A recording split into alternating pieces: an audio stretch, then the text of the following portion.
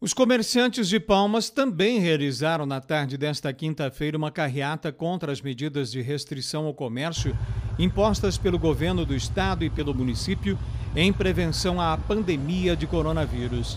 Eles querem a reabertura imediata. Nos sentimos injustiçados com o fechamento de uma pequena parcela do comércio em detrimento de outra. O decreto ele coloca algumas atividades essenciais e outras não. O que discordamos, pois toda atividade empresarial ela é essencial. Destaco também que nessa carreata, além de nós comerciantes, muitos colaboradores também aderiram ao movimento, haja vista que dependem de seus empregos para prover o seu sustento.